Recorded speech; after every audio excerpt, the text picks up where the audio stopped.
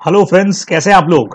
तो 15 जुलाई 2020 को आईसीआई का एक नोटिफिकेशन जो है वो आ चुका है और जिसमें आप लोगों को ये बताया है कि क्या चीज़ें आप लोगों के अटेम्प्ट के लिए नवंबर 2020 के लिए रहेंगी और क्या नहीं रहेंगी? दोनों के ऊपर बात की है उन्होंने। तो चलिए आज अपन बात करते हैं कॉर्पोरेट एंड अदर लॉ जो है, उसमें क्या कुछ कवर है, क्या कुछ कवर नहीं है। तो सबसे पहले जो फ़र्स्ट पर आप लोगों को देके रखा है, उसमें ये डेट हमारे लिए बहुत काम की है। डेट पे मैं अंडरलाइन कर देता हूँ। चलिए जी। थर्टीएथ अप्रैल 2020 तक एमसीए की तरफ़ से जो भी अमेंडमेंट्स आएँगे, जो भी नोटिफिकेशन आएँगे, जो सर्कुलर आएँगे, जो रूल्स आएँगे, वही आप लोगों के इस अटेम्प के लिए एप्लीकेबल रहेंगे। ये आप लोगों को ध्यान में रखना चाहिए। बराबर, ठीक है, कोई टेंशन नहीं इसके अंदर तो। तो थर्टी अप्रैल 2020 तक के ही अमेंडमेंट्स जो हैं, वो आप लोगों के नवंबर अटेम्प के लिए एप्लीकेबल रहेंगे, उसके बाद के नहीं रहेंगे। सर ये अमेंडमेंट हमको मिलेंगे कहाँ पे? मिलेंगे भाई आरटीपी आ जाएगी। तो आरटीपी में सारे अमेंडमेंट्स आ जाएँगे। उसके बाद में हम लोग यहाँ पे अमेंडमेंट क्लास करेंगे, आप लोगों को मिल जाएगी। टेंशन ही नहीं है। अब इंक्लूजन एक्सक्लूजन की बात करें, सबसे पहले कंपनीज़ एक्ट की बात करते हैं। बोला इंटायर कंटेंट जो है, जो आपका जुलाई 19 वाला स्टडीमेट है, उसमें जो कुछ लिखा हुआ है, वो सब आपके कोर्स में कवर है। और बाकी इन्होंने बोल दिया, जो मैंने अभी बोला था अमेंडमेंट्स के लिए भाई आरटीपी नवंबर 2020 का पढ़ना पड़ेगा। उसमें सब कुछ आपका कवर रहेगा, ठीक है? उसके अलावा कुछ भी आने वाला मतलब उससे बाहर कुछ भी नहीं है। क्लियर वन से वन फोर एट तक के सेक्शंस हमारे हैं ये। फिर आपको एक लिस्ट यहाँ पे दे दी कि कुछ सेक्शंस हैं, करीबन 12 13 सेक्शंस हैं 12 टू 13 सेक्शंस जो आपके कोर्स से एक्सक्लूड हैं। यानी इनको नहीं पढ़ना है। तो अगर नहीं पढ़ा है तो खुशखबरी मत पढ़ना। जिन्होंने पढ़ लिया, कोई बात नहीं, आगे फ्यूचर में कभी सीए कोर्स में आपके सीए जर्नी में काम आ जाएँगे। फ़िलहाल के लिए उनको पढ़ने का ज़रूरत नहीं है। तो मैं इसको थोड़ा सा इजी आपको समझा देता हूँ। डिटेल के साथ में बता देता हूँ आपको। देखिए, ये सेक्शन कायद है।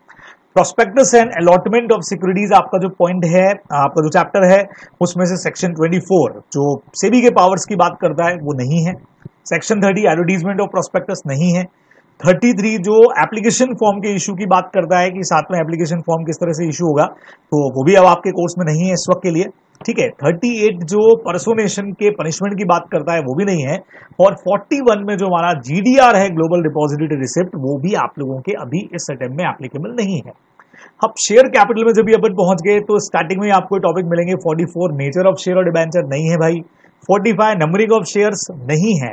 60 में जो authorise subscribe paid up capital का पब्लिकेशन करना पड़ता था, वो भी नहीं है। 65 में जो रिज़र्व शेयर कैपिटल था जब अनलिमिटेड कंपनी लिमिटेड में कन्वर्ट होती है, वो भी नहीं है। और नॉमिनेशन के भी डेथ के बाद में नॉमिनी को शेयर्स मिलेंगे, उसके क्या पावर्स रहेंगे, वो भी अभी आपके कोर्स में नहीं है, ठीक है? डिपॉजिट वाले चैप्टर में से सेक्शन 75 जो फ्रॉड के ऊपर डैमेजेस की बात करता था, वो भी गया, अभी आपके कोर्स में नहीं। एक्सक्लूड हो गया। चार्जेस वाले चैप्टर में जो रजिस्टर मेंटेन करता है registrar register of charges to be kept by registrar as well as जो रजिस्टर कंपनी मेंटेन करती है, वो दोनों ही आपके कोर्स में नहीं है, दोनों ही आपके कोर्स से चले गए बाहर। ठीक है जी? तो फटाफट से हमने देख लिया कि ये सेक्शंस पढ़ने नहीं है, आपके कोर्स के अंदर कवर नहीं है। चलिए जी कंपनी की बात हो गई। अच्छा सर ये लास्ट में क्या बोला है? अरे, वही बोला है भाई। जुलाई 19 का स्टडीमेट पढ़ो और नवंबर 20 के लिए जो आरटीपी आएगा, उसको पढ़ना, आपका कोर्स कवर हो जाएगा। ठीक है जी? आइए आगे बढ़ते हैं। अब इंडियन कॉन्ट्रैक्ट में इन्होंने बोला 123 ऑनवर्ड्स पढ़ना। इसमें भी सेम वही है जुलाई 19 का स्टडी मैट पढ़ो नवंबर का आरटीपी पढ़ लेना। और एक मज़ेदार चीज़ बोली सेक्शन 1 से 122 तक को अवॉइड करना। ये पढ़ते ही कितने लोग के मैसेज आ गए। सर मज़ा आ गया सर एक से 122 सेक्शन आईसी ने हटा दिए सर इस बार आ ही नहीं रहे सर बेटा, पहले से ही तुम्हारे कोर्स में नहीं थे। ये सेक्शन आप लोग फाउंडेशन के अंदर पढ़ते हो, यहाँ आपके कोर्स में नहीं था।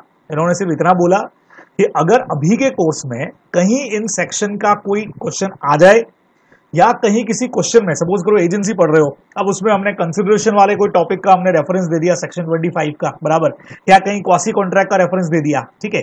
या कहीं पर भी माइनर का कोई टॉपिक आया और हमने इंडियन कॉन्ट्रैक्ट का कोई रेफरेंस दे दिया तो चलो ठीक है भाई, इस इंडियन कॉन्ट्रैक्ट में जो अभी आपके कोर्स में है उसमें वन से वन ट्वेंटी टू का कोई रेफरेंस आ जाए तो ओके आप उसको चाहें तो अवॉइड कर सकते हैं, ठीक है? लिख भी रहे पढ़ भी लें कैंसर को स्ट्रांग बनाए तो कोई दिक्कत नहीं अदरवाइज़ आप अवॉइड कर सकते हैं, ठीक है? नेगोशिएबल इंस्ट्रूमेंट में क्या करना है? सारा का सारा आपके कोर्स में कवर है, जितना आपके स्टडी मेट में है, बराबर?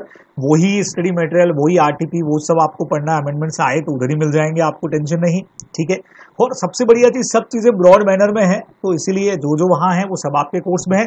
जनरल क्लॉसेज एक्ट में भी वही बात कही गई है, कोई चेंजेस नहीं, आप जुलाई वाला स्टडी मेट पढ़ो, और साथ में आरटीबी पढ़िए, बस सर, पढ़ लेंगे, बिल्कुल अमेंडमेंट्स आते ही, जैसे आरटीबी इशू होती है, आप लोगों के लिए अमेंडमेंट की क्लास यहाँ पे अपलोड हो जाएगी इंटरप्रिटेशन वाले में भी सेम है भाई, इसमें तो अमेंडमेंट्स है ही नहीं। इंटरप्रिटेशन है ये तो। तो जो कुछ स्टडी मेट में आपको देके रखा है significant rules principle broad manner में जो कुछ है, वो सब कुछ आपको यहाँ से पढ़ना चाहिए, इन्होंने बोला है। क्लियर मैटर चलिए नोट भी देख लेते हैं। July nineteen edition of the study mat relevant for November twenty examination ठीक है? अमेंडमेंट्स आएँगे नवंबर ट्वेंटी में। याद करवा दिया आप लोगों को इन्होंने कि बेटा दो चीज़ें पढ़नी है। स्टडी मेट पढ़ लो, बराबर जो जुलाई 19 एडिशन का है, और नया वाला आरटीपी पढ़ लेना। बस इतनी सी बात थी। वीडियो यहाँ पे खत्म होता है। तो ये इंफॉर्मेशन सारे सेक्शंस नोट कर लेना जो आपके कोर्स में नहीं है। बराबर। और आगे बात करेंगे जब आरटीपी आ जाती है। छोटा सा वीडियो। थैंक्स लॉट पढ़ते रहिए बस।